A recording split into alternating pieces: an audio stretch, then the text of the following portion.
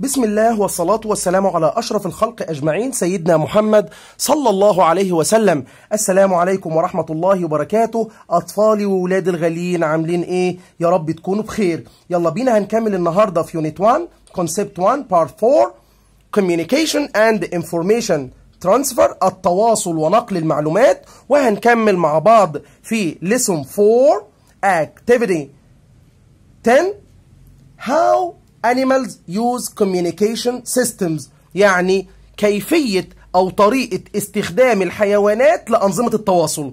How animals use communication systems. إحنا عرفنا في الدرس اللي فات إزاي الإنسان استخدم ال communication systems صح ولا لأ؟ النهارده بقى في الدرس ده هنعرف how animals use communication systems. ربنا يعني المبدع في خلقه جعل في الحيوانات communication systems. وهنعرف دلوقتي إزاي. طيب إيه ال target بتاعي في الدرس ده؟ ال target بتاعي الهدف تمام؟ إن أنا أعرف إزاي زي ما أنا قلت لكم how animals use communication systems تمام؟ طيب إيه الغرض بقى من إن أنا أعرف ده؟ إن أقارن بين أنظمة التواصل اللي الإنسان استخدمها وأنظمة التواصل اللي الحيوان بيستخدمها. You have known from the previous activity that humans use technology systems. انت عرفت من الدرس اللي قبل كده إن الإنسان ربنا أنعم عليه بنعمة التكنولوجيا تمام؟ وكان عنده أجهزة إلكترونية كتير سهلت عليه حاجات كتير جدا جدا جدا تمام؟ طيب الأجهزة الإلكترونية ديت واستخدام الايه الأجهزة تمام؟ واستخدام أنظمة التكنولوجيا اللي إحنا عايشين فيها. بنستخدمها ليه؟ To communicate with each other. تمام؟ يلا بينا نقول animals don't use technology systems. بيقول لي إن الحيوانات ما عندهاش أي أنظمة تكنولوجية. تمام؟ As we do. زي ما إحنا بنعمل. هنلاحظوا كده إن في الصورة الأولانية في سيدة قاعدة وقدامها اللابتوب بتاعها وحاطة في ودنها الهيدفون. كلام جميل. وفي الصورة التانية هنلاقي إن في مجموعة من النمل البسيط تمام؟ بيحاول إن هو ينقل حاجة من الغذاء بتاعه تمام؟ وهنشوف إزاي النمل بيعمل الكلام ده. يبقى عندنا دلوقتي animals don't use technology systems as we do.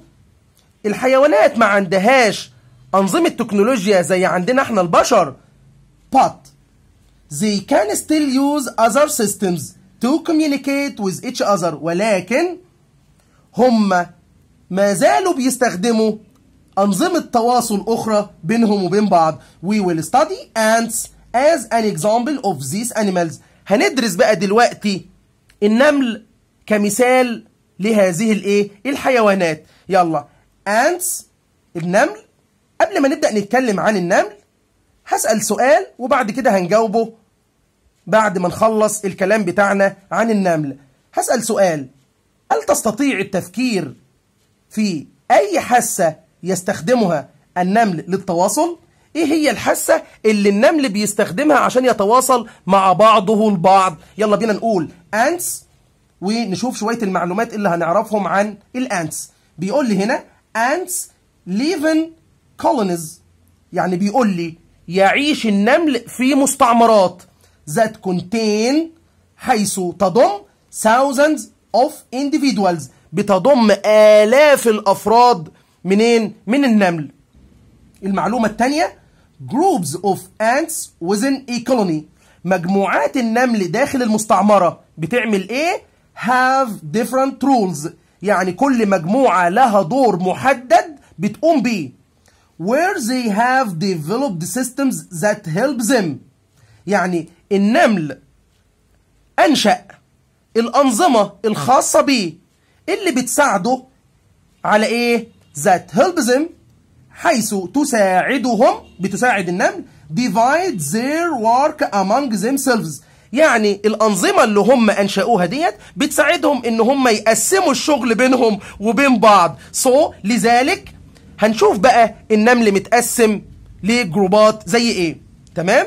تمام. أول group عندي اللي هو ال nurse ants اللي هو النمل العامل. طيب عندي تاني group اللي هو ال scout ants النمل الكشاف. And the soldier ants اللي هو النمل المجند. يلا بينا نقول how do groups of ants communicate with each other? إزاي مجموعات النمل بقى بتتواصل مع بعضها البعض؟ وده طبعا هيرد لي على السؤال اللي أنا سألته لحضراتكم. هل تستطيع التفكير في أي حاسه يستخدمها النمل للتواصل؟ يلا نبدأ ونقول نمبر 1 when the food is low. يعني لما الأكل بتاع النمل يقل. إيه اللي بيحصل؟ Nurse ants. النمل العامل. Send strong smelly messages. النمل العامل يرسل رائحة قوية جدا كرسالة. To Scott ants. لمين؟ للنمل الكشاف. اللي هو بيطلع يستكشف أماكن الغذاء which are responsible for locating food اللي هو بيطلع يستكشف أماكن وجود الإيه؟ الغذاء والطعام. number 2 the scout ants تمام؟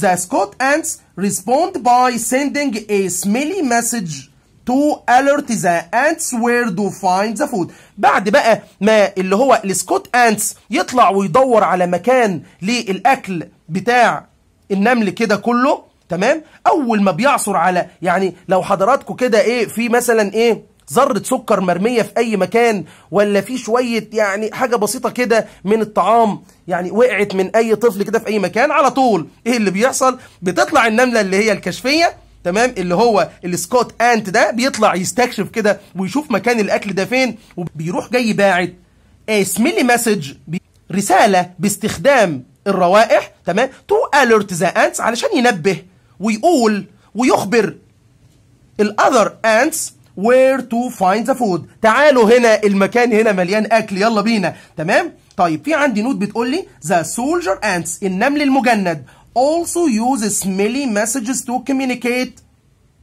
if there is danger nearby.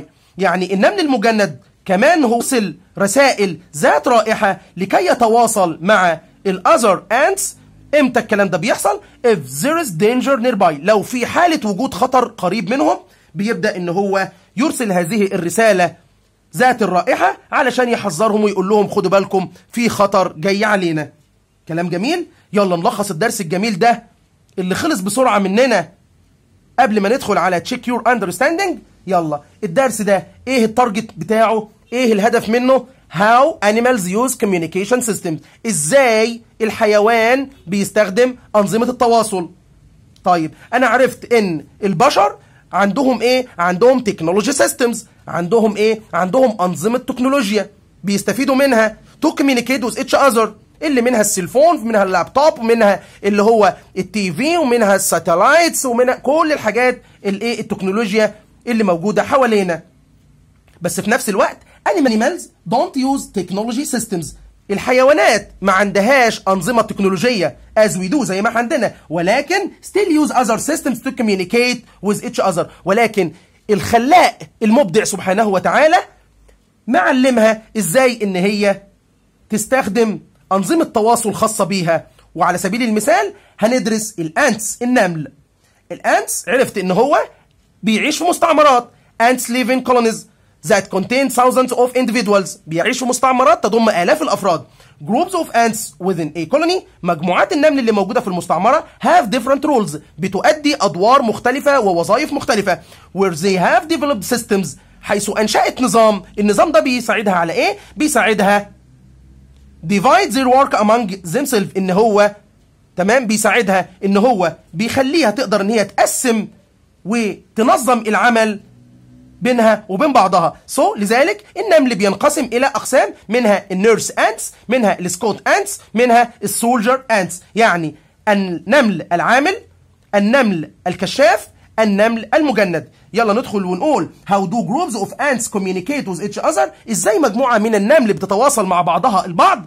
كلام سهل وبسيط وجميل. number 1 when the food is low أول ما مخزون الطعام يقل على طول nurse ants النمل العامل. Send strong smelly message. بيبدأ يروح جاي باعت رسالة ريحتها قوية جدا جدا. بيبعتها لمين؟ to scout ants للنمل مين؟ الكشاف. وتقول له يلا اطلع دور لنا على الأكل which are responsible for locating food. اللي هو بيبقى مسؤول عن إيه؟ عن مهمة البحث وإيجاد مكان الطعام. اللي هم بقى بعد كده هيروحوا علشان يجيبوه. number 2 the scout ants النمل الكشاف respond by أول ما بيلاقي المكان بتاع الأكل بيعمل إيه؟ بيروح جاي هو كمان send a smelly message to alert the ants where to find the food. بيبعت رسالة هو كمان. تمام؟ بيقول فيها لل other ants تعالوا مكان الأكل موجود في المكان الفلاني. ولا ننسى the soldier ants النمل المجند also use smelly message. هو كمان بيستخدم ال smelly message to communicate if there is danger nearby. لو في حالة وجود خطر بيقرب من النمل على طول اللي هو ال soldier ants النمل المجند بيبدأ برضو يطلق رسائل فيها روايح بيفهموا منها. خدوا بالكم في خطر جاي عليكم. يلا نجاوب على السؤال بقى بتاعنا. هل تستطيع التفكير في أي حاسه يستخدمها النمل للتواصل؟ برافو عليكم هي ال smell sense حاسه الشم. يبقى إذا كنت أنا عرفت إن ال honey bees كان بيستخدم sight sense كان بيشوف الحركات بتاعت اللي هي ال dancing bee تمام؟ بتاعه النحلة الراقصة. لا ده هنا النمل بيستخدم ال smell sense بيبدأ إن هو يشم الرسائل اللي جاية له تمام؟ اللي بتبقى عبارة عن روايح. Check your understanding. Complete. When the food is low لما المخزون الاستراتيجي بتاع الأكل بيقل إيه اللي بيحصل؟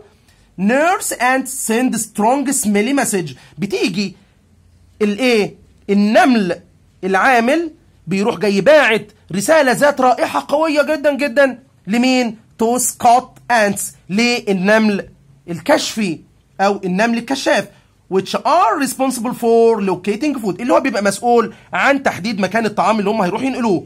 نمبر 2 the soldier ants النمل المجند. The soldier ants النمل المجند use smelly messages if there is danger nearby.